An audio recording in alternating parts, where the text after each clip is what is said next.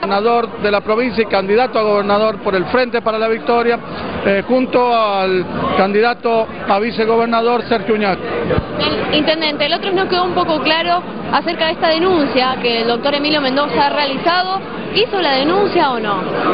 Bueno, no, todavía a mí no me han comunicado, de todas maneras nosotros vamos a esperar que nos comuniquen y también nuestros asesores están evaluando hacer una denuncia de repetición teniendo en cuenta que el juicio al que él hace referencia lo inició él y por supuesto tres días antes de irse, esto y con abogado extra del municipio. Entonces mm, queremos investigar si no eh, él no provocó este, este, este, juicio para perderlo y para generarle eh, problemas al municipio. Entonces nosotros este, también vamos a hacer las investigaciones correspondientes una vez que lo comuniquen y haremos este, una denuncia de repetición. Ese problema de la pegatina también, ¿cómo se soluciona? Y nosotros este, estamos ya en el día de mañana intimándolo en 72 horas para que este, limpie la ciudad y en caso contrario, bueno, este, se aplicará la multa, porque es nada más y nada menos que este, es lo que dice la ordenanza. Nosotros no vamos a denunciar, simplemente vamos